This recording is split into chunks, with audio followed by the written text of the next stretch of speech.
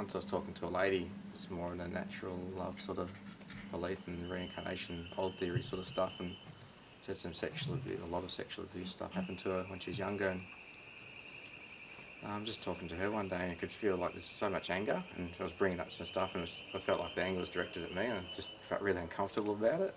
When I went home, just writing in my diary and just trying to get a bit more into the feeling, and um, I was leaving home, just going down the stairs, and it's just dawned on me, like, I wonder if I'd harmed somebody in the, like, I must have harmed so many people. Wonder if there's still people still in that position. I thought, 2,000 years, you think, I think they'd move on sort of thing, like they'd actually progress a little bit.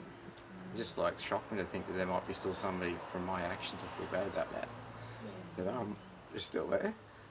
And so ended up speaking to um I think ended up talking to Natalie, which is over in England at the time.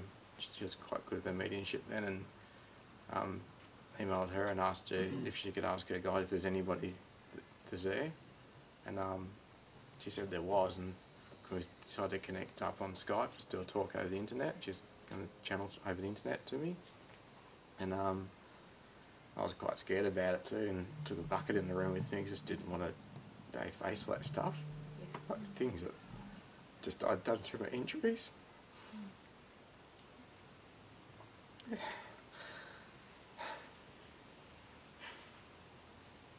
just have so much self-loathing know, people like to believe in reincarnation and take on some nice thing, don't they?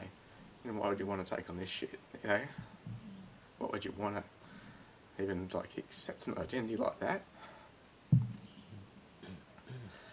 And anyway, started speaking to her. She didn't really want to speak to me, but it was encouraged by the spirit guides that with her to speak to me, and we're just talking about her life little bit, and um, just let her talk as much as possible because I had no idea what to say. Just had no idea. She just hated me, like really, really hated me, and um, just she'd been raped by me and some of my troop guys as well, and um, she died from injuries. And she had a little girl, just a little bo- newborn, and she's just so like, lost about what happened to her. And I just got to talking about her that she's in the spirit world with her, but that meant nothing. It just there's just so much pain from the loss. And I um, just got talking to her about her life a bit more, and she's just scared her whole life as a woman. Was scared, and you know, she had, I said there must be just one time you can remember in your life you were happy. Is there one time? And she remembered a time. when She was just by herself walking around the lake. It's the only time she remembers being feeling nice and just happy. And um, just talked to her a little bit more, and um, she started to sort of realise a few things and told her what happened to me. she died before me. Just told her what happened to me and she was really happy that I got hurt so much as well. Um, just, you know, how much people hate you sort of thing. It's just not nice. Um, just hearing that, they're so happy how much you got hurt. And um, I just spoke to her a bit more and then didn't feel like that went very well. I sort of finished it and didn't feel like it went very well and just went off and cried. And, um, but since she's been doing really well, she's got really, like, it's helped her a lot.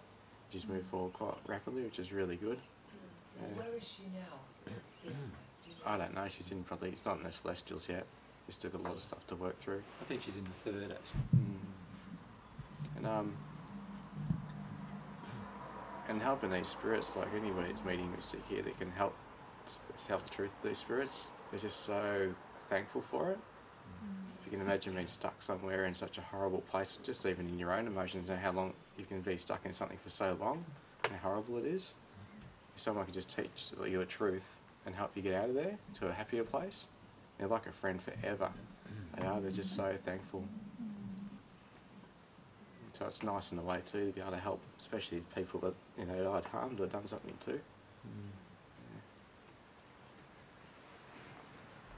Um, do they, can they actually harm you?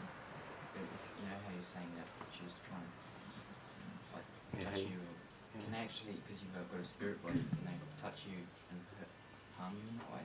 I couldn't feel anything, so and I think there's a band of spirits around me that don't allow that too. But the truth is they can harm you, and particularly with their emotions and your emotions. So if your emotions are in sympathy with their emotions, they can harm you through that connection.